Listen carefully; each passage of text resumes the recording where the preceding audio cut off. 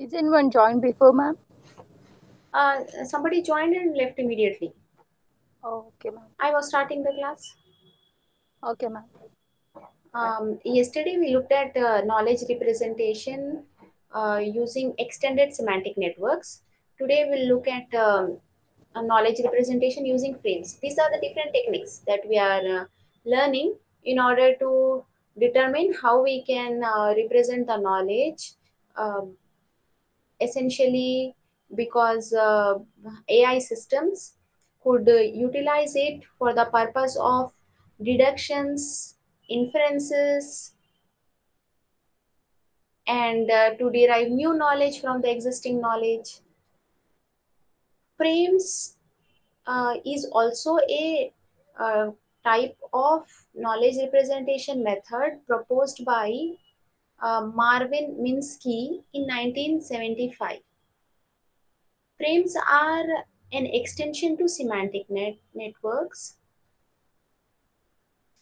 Uh, each node of a semantic net is represented by a frame. Quickly, uh, let us see what is a semantic network and how do we represent the knowledge in semantic network. So that uh, idea can be, you know, framed in the mind. So the semantic networks have got nodes and links. Let us say uh, if we have to say that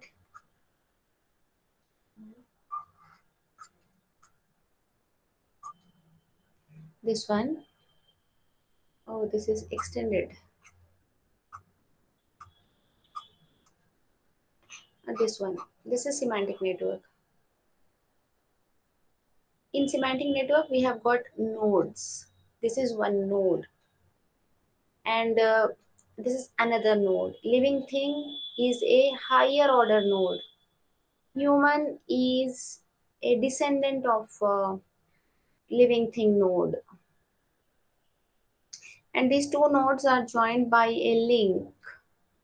And this link is a is a relationship link which says that human is a living thing. There is another uh, property that could also be attached to the uh, living thing through property link, which is a dashed line. This is a semantic net.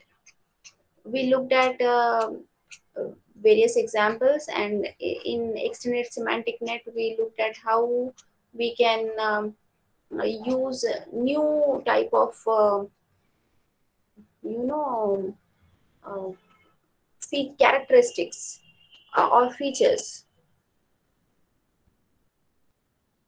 this is essentially same similar to uh, semantic net with extra features. What is said here is a frame is uh, similar to a semantic net where each node of a semantic net is represented by a frame. Um, or we can say that frame is like an extension to semantic networks. And a frame is defined as a data structure that is used for representing a stereotyped situation.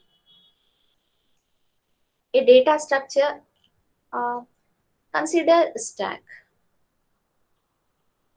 How do you represent a stack? You represent a stack by um, having uh, a an array with uh, a variable that denotes top and this top is incremented as items are pushed and top is decremented as items are popped. That is a kind of data structure. Likewise this frame is also a um, collection of items in the form of a data structure that represent uh, a real world entity.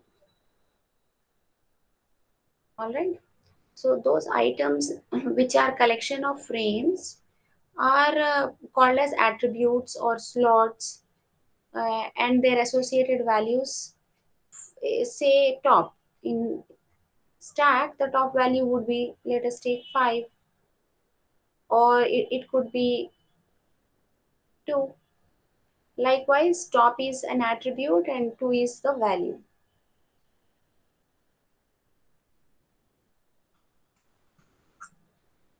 This is an example of a frame the structure of a frame. Uh, there are various attributes that collectively forms a frame. Apparently here you find a frame name which uh, identifies this frame. Slot filler uh, that uh, you know that describes uh, the object. Default value of uh, that object or an attribute or, or I can say frame constraints on values with the slots of a frame. Is there any constraint on the value that is to be stored uh, in the frame? For instance uh, you cannot have top value to be um, represented in uh, negative form. Let us take an example. Suppose top is initialized to 0 and it starts with 1 uh, no negative values are allowed. That is a sort of constraint. Pointers to other frames. If this frame is linked to any other frame uh, pointer to that frame is it a kind of or a subclass of another frame?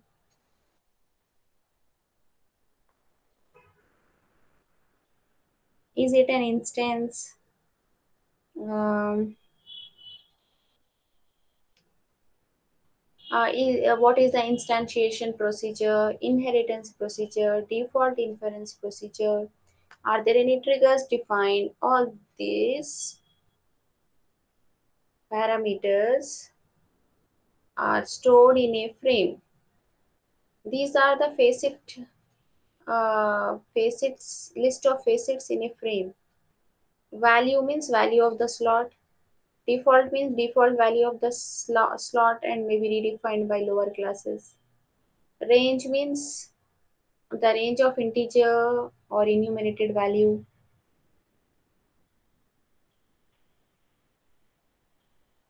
Daemon means procedural attachments.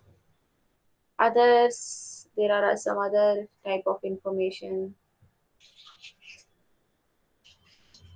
Consider an example of hospital frame this is hospital frame where you have the slot names as F name, country, phone number, address. F name denotes frame name. And facet value is this value. What is the facet value? Facet name is value. Facet value is Metro Hospital. This frame is uh, representing a Metro Hospital. In country India, is the phone number. This is the address. Alright. Uh, frames in a network of frames are connected using links and these links would have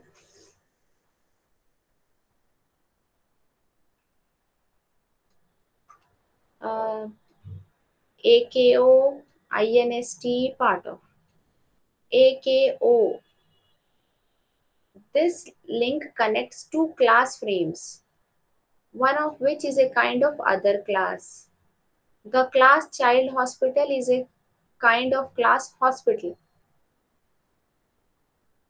it is like a hierarchical structure. Uh, such kind of structure is uh, denoted by AKO uh, link. Inst link, this link connects a particular instance frame to a class frame. Uh, for instance, uh, for a student class, John is the instance. Uh, the class name would be student and the instance would be John. The link between uh, these two kinds of frames will be INST. Part of a link connects two class frames, uh, one of which is contained in the other class. For example, hospital is a class which contains another class which is a ward class, ward. Hospital has ward, both are classes. One class contains another class. To uh, depict such kind of uh, relationship, part of uh, link is used. Frame descriptions.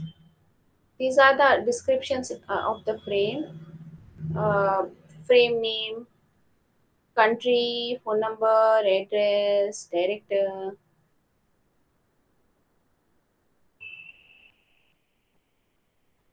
Labs, wards, doctors. These are the attributes for the frame name hospital. And this one is the root of the network. Child hospital frame. If there is any child hospital you know perhaps connected to it uh, that the name of that frame. Ako means it, it it gives the super subclass relationship. What is super? That is hospital. What is sub? Is child hospital. And age is 0 to 12 uh, heart hospital frame. Frame name is heart hospital ako the link is uh, connected to the its superclass which is hospital. Lab frame frame name is uh, lab it is a part of hospital. And it is a pathological lab. And there is an x-ray. Oh, okay uh, here in lab you you have pathological lab and x-ray lab. And that connection between those line uh, those uh, classes of frames are shown here. And later this pathology and x-ray are defined separately. Ward frame is part of hospital. Doctor frame is part of hospital. Pathology frame is a part, a part of lab. X-ray frame is a part of lab orthopedic orthopedic ward is a subclass of ward. And this uh, frame instance descriptions if there is an instance of hospital frame these are the values. All right? The actual concrete values.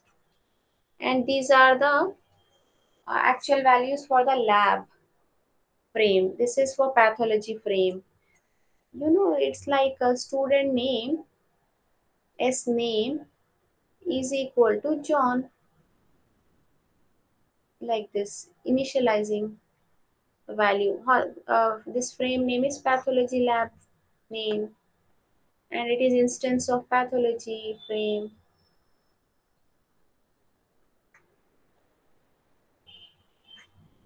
All that shows the same thing and now look at this frame a simple frame system in this frame system we have a road which is a hospital frame in this hospital frame uh, there is an instance uh, of this hospital which is AIIMS. AIIMS is a instance of hospital.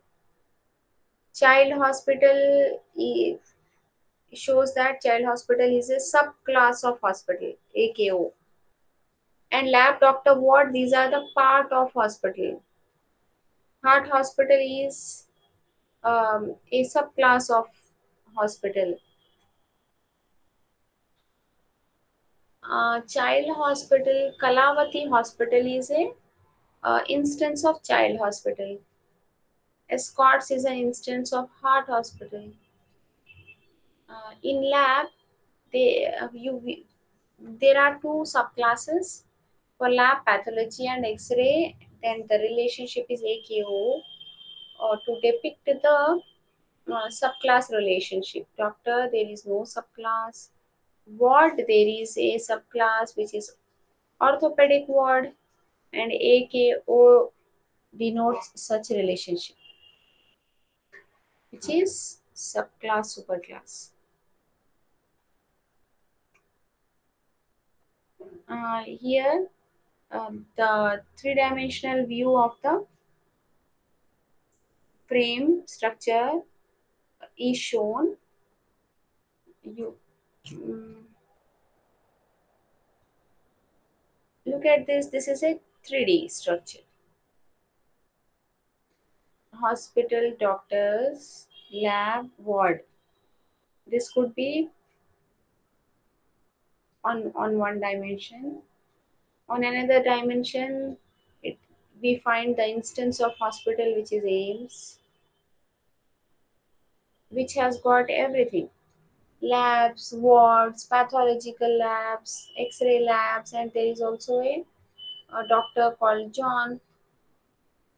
The, here, this side, there are there is child hospital, heart hospital, which are the um, part of hospital that is shown here in another dimension.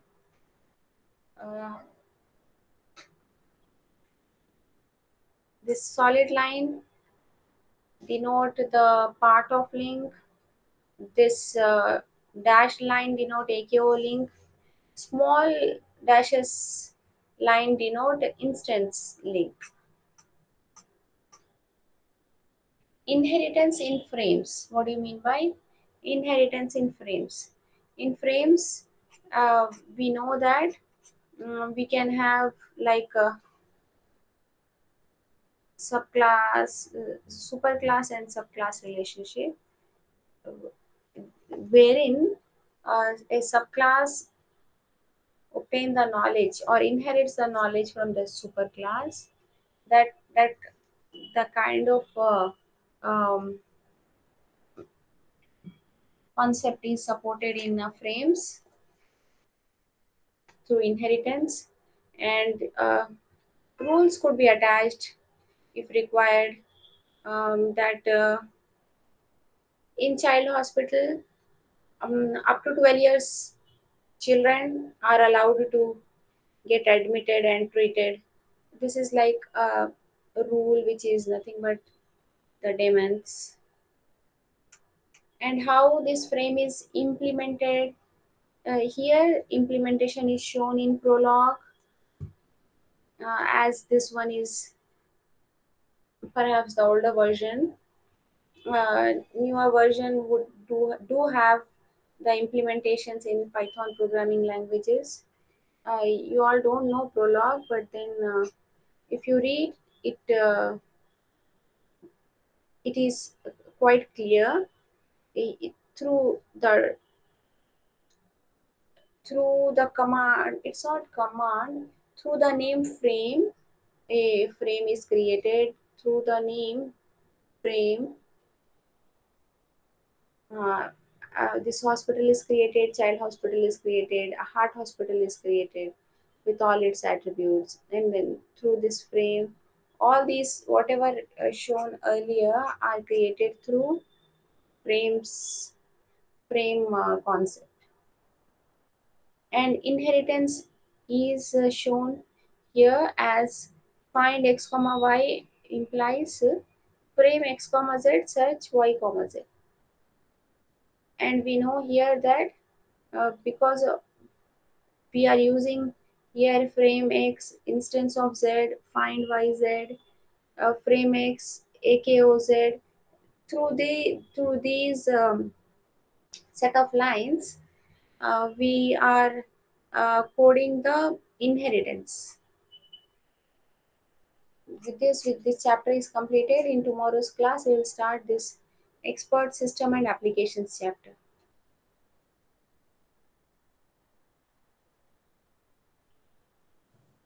Okay, ma'am.